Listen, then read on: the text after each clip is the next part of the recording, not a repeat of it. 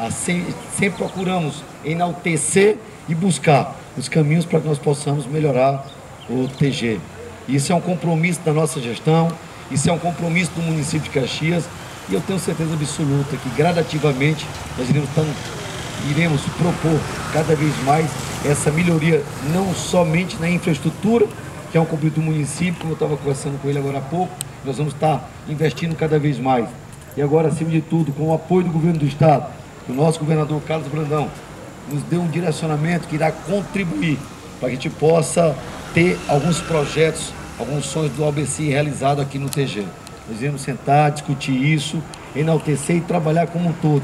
Todos os nossos secretários aqui presentes, como os demais que não estão, estão preparados também para atender sempre que necessário for, sempre que preciso for e sempre que chamado for. O município sempre mantém suas portas abertas e essa parceria entre todas as forças policiais, que seja aqui com o Almeida Neto, da Polícia Rodoviária Federal, que seja com o Ricardo, da Polícia Militar, que seja aqui com o aqui do Tio de Guerra, mas todas as forças policiais, nós estamos prontos para poder contribuir e oferecer ao município de Caxias essa qualificação para termos nosso povo realmente aqui com condições de que a gente possa representá-los.